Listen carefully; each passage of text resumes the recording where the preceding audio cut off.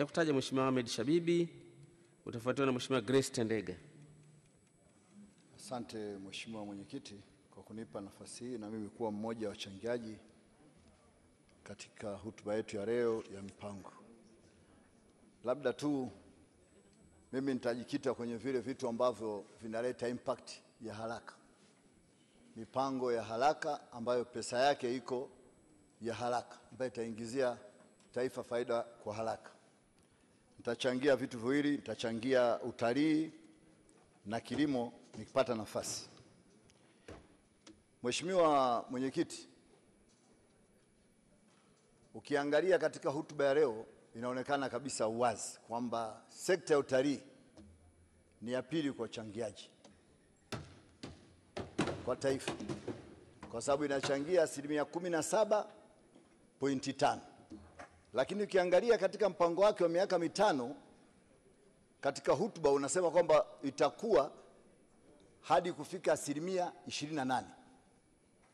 Hasa ukiangalia katika sekta hii ambayo kuna nchi zinaishi kwa kutegemea utalii peke yake.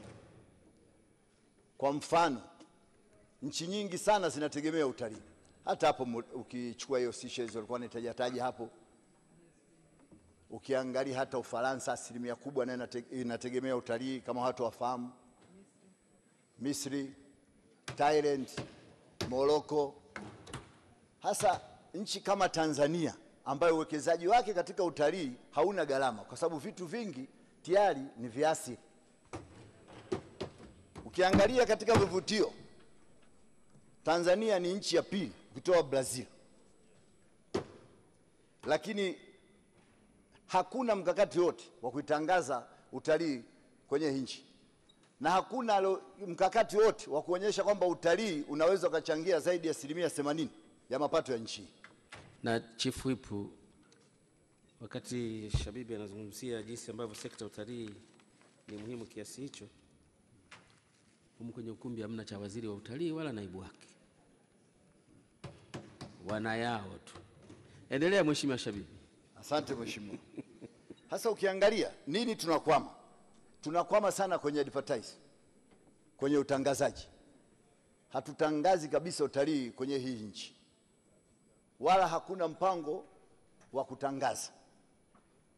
Kwa hiyo ushauri wangu kwenye hizi balozi zetu, lazima paweko na wale makomesho atachi, lazima wawepo, tunaita mwambata wa kibiashara kwa sababu ukiweka mwambata kwenye biashara wa kibiashara kwenye kila ubalozi utakuwa unatangaza utalii, unatangaza uwe, uwekezaji, unatangaza na biashara zingine. Kwa hiyo tunakuwa na watu wa diplomasia ya uchumi ndani ya zile balozi. Kwa hiyo tunakuwa tunaangalia nchi, kwa mfano nchi kama Amerika tunahitaji watalii, basi tunampeleka eh, mwambata yule ambaye yeye anakuwa ni mtaalamu wa kutangaza utalii. Tunaangalia nchi fulani, tunamwasiliana nayo, labda mawasiliano nayo kwa ajili ya kilimo, tunampeleka mwambata wa kiuchumi ambaye anahusika na kilimo. Kwa hiyo tunakuwa tunafanya hivyo, hiyo tutautangaza utalii wetu vizuri. Ukiangalia leo hii mbuga ya Serengeti ni mbuga bora duniani, lakini haifahamiki kama Masai Mara ya Kenya. Sasa hapo unaweza ukajiuliza ni kitu gani?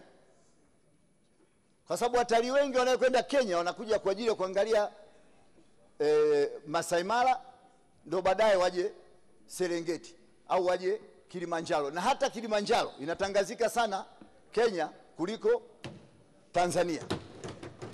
Kwa hiyo tuna- tunachezea tu, na hapa ndo mahali ambapo pana pesa kabisa nyingi. Mimi sitakagi kutoa ile mipango ambayo ita, itafanyika huko ya maneno maneno, hapana. Huu ni mpango ambao uko wazi, na hii ni hot cake kabisa, haina shida kwenye hii pesa ya utalii. Ukiangalia leo Brazil, kwa nini imekuwa ya kwanza duniani? Kwa ajili ya utalii wa bahari. Sisi huku tuna utalii wasi lakini leo bahari kama ya pale Kigamboni, bahari mali kabisa, bichi zake ni safi, leo yamejaa magereji, yamejaa maviwanda, yani hata mpango ardhi wa kutumia haueleweki. Mimi mbunge niko muda mrefu, hata hivi kusimama basi, maana sangine mnaongea tu alafu vitu havitekelezeki. Sasa mheshimiwa, lazima uangalie. Alafu watu wanalalamika kuhusu habari ya utalii, sijui uh, asilimia kumi hiyo iliyoongezwa na kwenye utalii. Lazima vitu vingine watu wawe wazalendo. Kumleta mtalii mmoja, haya makampuni ya binafsi yanachukua dola elfu tano. Kwa hiyo wewe kuongezewa kidola elfu kidola kumi tu unapiga kelele, utalii Tanzania utakufa. Utakufa kwa msingi gani? Hauwezi kufa utalii kwa ajili ya dola kumi. Haiwezekani kitu kama hicho. Cha msingi tu ni kutangaza utalii, watalii waje wengi. Na mheshimiwa, ombi lingine katika utalii, lazima tuwe na regulation, private regulation katika utalii kama zilivyokuwa sekta zingine. Leo ukija huku kwenye sekta labda ya mawasiliano kuna TCRA, ukienda labda huku uchukuzi kuna hao wengine hawa sijui LATRA nani nani, ukienda kwenye nishati kuna EULA. Huku nako lazima kutengenezwe regulation ya private ili iangalie na kudhibiti na kuangalia maslahi pamoja na kuchukua hao wadau na hao kuangalia watafanyaje ili utalii uendelee kukua. Mheshimiwa, kwenye masuala ya kilimo hii lazima watu mkubali. Tunapanga vitu vingi sana, lakini tuna, mimi bahati nzuri unanifahamu vizuri, ni mkulima, mfugaji, mfanyabiashara, vyote nafanya. Nchi hii tusidanganye na mambo mengi sana. Kama tutadharau kilimo, kilimo tumebadilisha slogan za kila aina.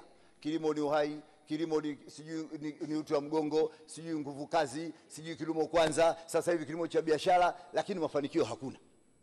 Hata bwana Bashi wakati anajibu mpango huu mpango huu mpango huu, wakati hela hazitoki na hazitekelezeki. Hii ni hadisi. Tajiri namba moja wa Tanzania kwanza ni mkulima anayelima kuanzia nusu heka mpaka heka hamsini. Hii yote mnazungumza tu, hela zimebanwa, sijui hela mtani hakuna. Kwa nini mshangai mwezi wa kwanza wa pili na watatu, wakati mkulima yuko shamba, ndio hela hamna nyinyi? Simjiulize. Ukiingia mwezi wa kwanza wa pili wa tatu, hakuna anayepanda basi, hakuna anayeingia dukani, hakuna anayenunua chochote, na huko mabenki nako pesa hakuna, hakuna kila sehemu. Lakini kuna mkakati gani? Kuna mpango gani wa kumnyanyua huyu mtu?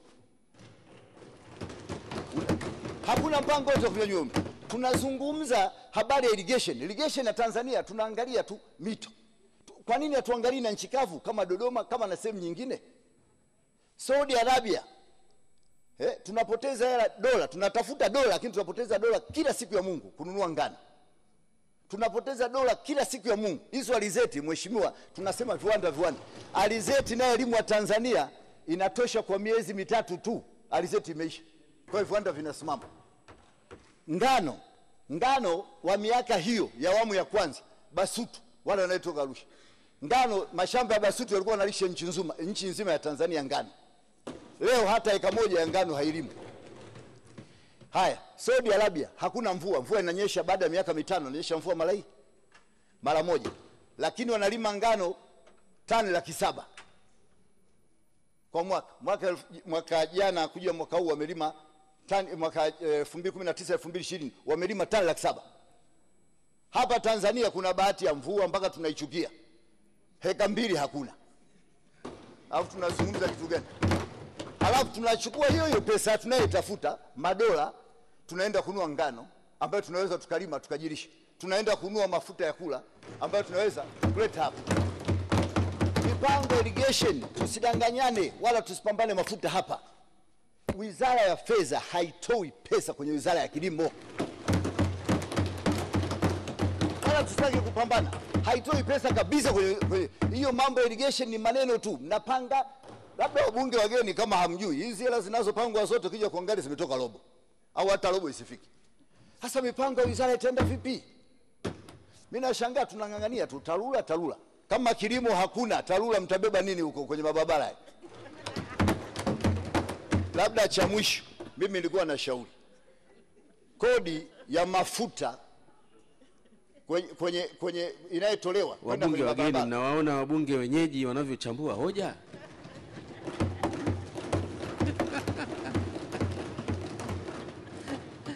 Endelea mheshimiwa, malizia. Mheshimiwa, mimi nilikuwa nashangaa kitu kimoja. Habari, tunatoa mazao yetu yepi? Kama sio kupita sisi wabunge kwenye mabarabara. Wale wazee wameshazoea wanataka hela tu.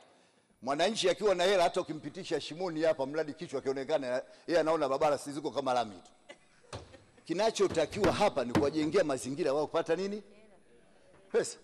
Labda tu mheshimiwa, mimi nilikuwa nataka nitoe ushauri kwenye mabarabara haya, tunachangia kama tunachangia shilingi 263 kutoka kwenye mafuta kila lita moja, na kwenye umeme tunachangia shilingi hamsini kila lita. Mimi nilikuwa na shauri, mimi na vituo vya mafuta na mafuta yanapanda na kushuka. Kwa nini pale tusiongeze shilingi thelathini na saba iwe shilingi mia tatu iende kwenye kilimo? Ili iweze kuchukua ile eneo, kwa sababu kama kuna mtu mwingine na mimi mwenyewe na mabasi na malori silalamiki kupandishwa mafuta, sasa nione mtu alalamike. Huko. Eh, ipandishwe shilingi thelathini na saba iende kwenye, kwenye, mafuta, kwenye kilimo tuna tunachangia tu weula sijui na tarura tarura wenyewe hawa ni wezi tu. Mimi nashangaa mnapiga kelele, mabarabara wanapata hela hawatengenezi lolote, na hii habari ya kuwatoa hawa, sasa hivi hawahusiki kwa madiwani, wamekuwa Mungu mtu. Nashangaa ubunge hapa, maana tarura sasa hivi madiwani ndio na mikakati ya barabara zile. Diwani ndio anayesema barabara ya kimkakati ni barabara fulani kutoka pale kwenda pale. Lakini leo EULA nani hao wanaitwa TARURA, samani nisema EULA, wanisamee watu EULA. TARURA sasa hivi wamekuwa hao mameneja wa wilaya, mameneja wa mkoa wamekuwa kama Mungu mtu, kwa sababu hawawajibiki hawa, hawa kwa nani? Kwa madiwani wabaki kwa management, lakini lazima mipango yao irudi kule kule kwa madiwani. Asante sana. Asante sana mheshimiwa Mheshimiwa Shabibi.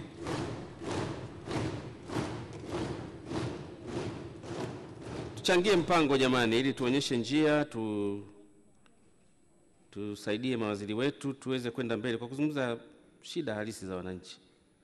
E, hawa kina Tarura sijui Ruwasa, nasikia baadhi ya hawa kina Ruwasa nani hawa mshahara wa meneja wa wilaya unamzidi waziri. Sijui ni kweli kiasi gani, lakini nasemekana kwamba wanalipwa kweli kweli. Kwa kazi ipi? Haya, nilikutaja Mheshimiwa Grace Tendega.